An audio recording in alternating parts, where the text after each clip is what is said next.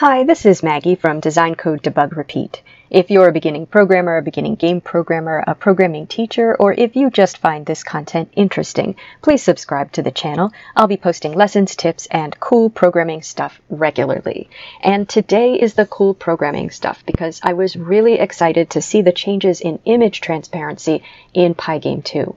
And you may have seen this program before. This is my program where I wanted to create an accordion illusion of the original image, then the image with the skull superimposed. And this is sort of the final version, although I don't know if it's neat enough for me to share with you, but it uses facial recognition to superimpose the skull over the face of whatever portrait you choose, but then you can use um, the keyboard to make modifications. So I'm just um, sort of nudging it and stretching it with some of the keys. But then I can use the um, keyboard also to increase or decrease the overall transparency of the skull. But that wasn't enough. I wanted to be able to edit it in individual spots because, like, for example, I like the width of the skull and the height of the skull here, but I don't like that it's superimposed over the collar of the, the person's clothing. So I also wanted to add the ability to do sort of a fuzzy edit by clicking. So I can can see. I can decrease the transparency by clicking with the mouse just in specific locations. And this is a sort of fuzzy sort of paintbrush that I'm using. And I really wouldn't be able to do all this without the new transparency, or it would be a lot more difficult, I think, without the new transparency settings in Pygame. So we're going to take a look at those. And in, in a much simpler example, I just wanted to show you my motivation. So I have these images. This is um, a ping, and you can see that there's an alpha channel in the ping. So this is a star, but we've got some fuzziness around the edges of the star, which is a, a transparency setting. That's a background we're going to use. Now this is a GIF. So it's white and red, and those are the only two colors in the GIF.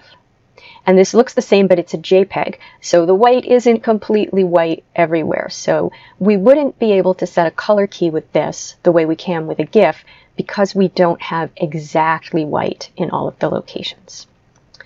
Okay, so let's look at the program that I did write to demonstrate this to you. And to start, I think we probably just want to talk about those different kinds of transparency. So let's um, actually let's run this because I've got some information that's going to be printed out to the console. Okay, so you can see that it blits the background, and then I blit the three different images that I showed you. This upper left star is the JPEG with the white but not completely white everywhere background. This is the GIF, and I've set the color key on this, and this is the ping. Okay, and down here I've printed some information about those images. So you can get the color at any point on a surface. So I've gotten the color for the top left, so that top left point, 0, 0 of each surface. I've gotten the color for the top of the star. So when I say top point there, I mean the point of the star. So it's actually not quite at the top, um, but top point of the star, which is about um, 50x 5y. And then the center point of the star, because I'm going to show you something kind of cool with that. And what we see is four integers ranging from 0 to 255. So you are probably familiar with RGB color. So the first one is the red, um, the second one is the green, and the third one is the blue component of the color. But the last one is the alpha. So that's the transparency. And that also ranges from 0 to 255, with 255 being completely opaque and 0 being invisible. So with the alpha channel star, all around the star is invisible. Um, so we've got 0, 0, 0, 0. So it doesn't really matter what this color is. 0 means that this is invisible. It's completely transparent. But for the others, this is white, right? 255, 255, 255, and completely opaque, 255. Now for the star that's a GIF, for which I've set the color key, that upper left corner is also completely white and completely opaque, so why don't we see it? There's sort of two different kinds of transparency. One is the kind that's embedded in the information for the surface, and that's what we're seeing here. But the other is the color key, which is a single value associated with the surface that's used in blitting.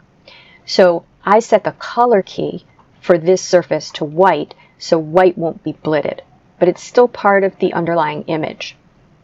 Now for the top point, that's the, you know, the point of the star, you can see it's, it's mostly red in the JPEG, but it's got a little bit of a blue component. And again, that's because it's a JPEG. So um, it's, it's just not stored the same way a GIF is. There's, it's a lossy format. We lose a little bit of information. It, it blurs a little.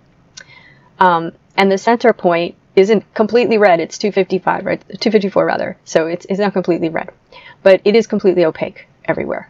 That's that last number. And for the GIF, nice and crisp with the colors. So white in the upper left, red at the point of the star, and red in the center, completely opaque. And for the alpha channel star, you can see that the top of the star is, is a little bit fuzzy, right? Um, so we have an opacity at the very point of 53. That's pretty transparent, right? 255 is completely opaque and 0 is completely transparent. So it fades into complete opacity in the middle. But at the top, it's a little bit transparent. Okay, so if you want to look at how how we created that, then I can show you some of the stuff that we can do with it. But let's take a look at how it's created first. Um, and it's pretty straightforward, but one thing is important. So first, I simply load in the images using pygame.image.load, so the JPEG, the GIF, and the PNG. But instead of using convert, I convert alpha. It gives me the option of setting the overall transparency of, of the image. Okay, um, and with the GIF, I set the color key to white. So as we noted, the GIF is white all around, but when we set the color key to white, doesn't change the underlying image, doesn't change that alpha information within the surface, but when the surface is blitted, the white pixels aren't blitted. And then the, just for the printing, what I did was used get at, which will get me the color at whatever location I pass in. So 0, 0, 55 for the point of the star and 50, 50 for the center of the star. And then I just also have a little function to blit them. Okay. Okay, so I want to show you some things that we can do with the transparency here. So first of all, we can change the overall alpha of the surface. And that's, again, that's why we want to convert alpha when we load these and convert them. And this is also something that's used in blitting. It's not going to change the values that are stored for the surface. So I've programmed this to respond to the minus key and the plus key on the keypad. Now there, it's, it's already completely opaque. There, the default alpha is 255. So I'm going to start by reducing. Okay, and now again, you can see these values haven't changed. So I'm printing them every time I do something. Um, so I'm going to press minus again. And I'm, I'm, going to keep pressing minus. You're going to see that these values aren't going to change at all. But look at the image as I press minus. Now you can really see that those stars are fading. So this is, this is a result of set alpha.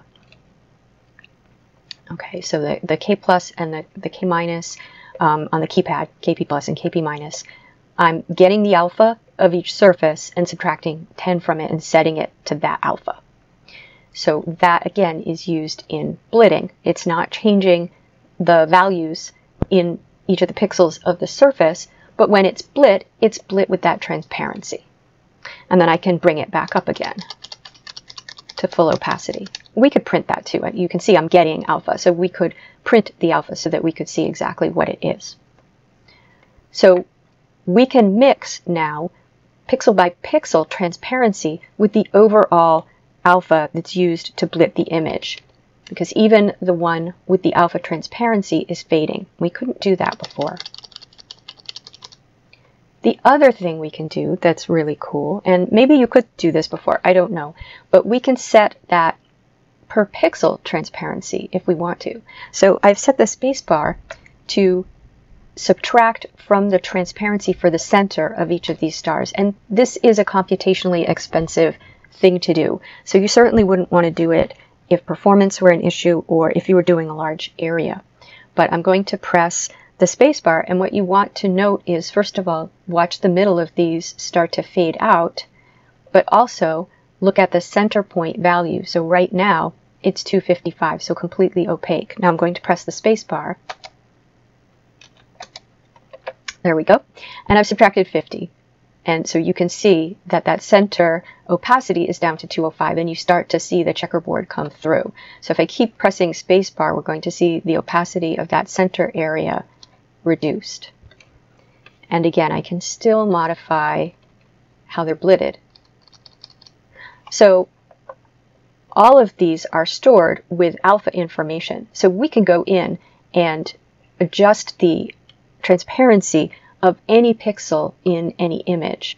So we could we could get an effect like this by adjusting the transparency, like feathering it out to the edges. So for that,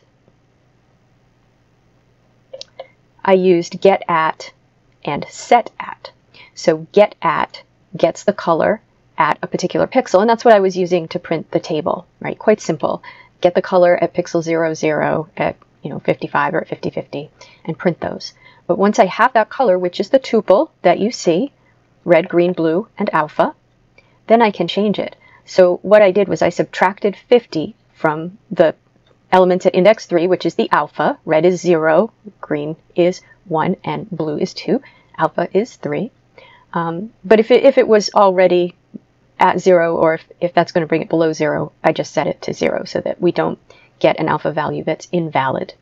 And then set at I put the pixel that I want to set, and then I just put in the new color. So we're able to do a pixel by pixel transparency. We're able to do a color key so that we don't blit a particular color. And we're able to set an alpha, which affects how it's blitted as far as transparency. So we can make a particular color completely transparent but we can also set the overall transparency of the image when it's blitted, and we can set the pixel by pixel transparency of the image by bringing in a, a PNG, an, an image that already has that pixel by pixel transparency information, or we can actually set individual pixels if we want to. And just remember to do the convert alpha when you load the images in. Now, when you are going to create an image from scratch, you can pass in this flag src alpha in order to get that information. So if you're not loading the image, if you're just going to create a surface just using an initializer, then be sure to pass in that src alpha. So where's the constructor or initializer? Um, so that would be um, the flags. So surface width height and then flags equal and use src alpha in order to create a surface that's going to have that alpha channel. Well, that's it. I think this is really cool. I was really excited, and I know many of you are interested in transparency, and my old video, while accurate, doesn't tell the whole story anymore because we can do these cool new things. So if you enjoyed this video, please give it a thumbs up. That tells me that you like this sort of content and I should bring you more. And if you like this sort of content, please subscribe to Design Code Debug Repeat. Take care.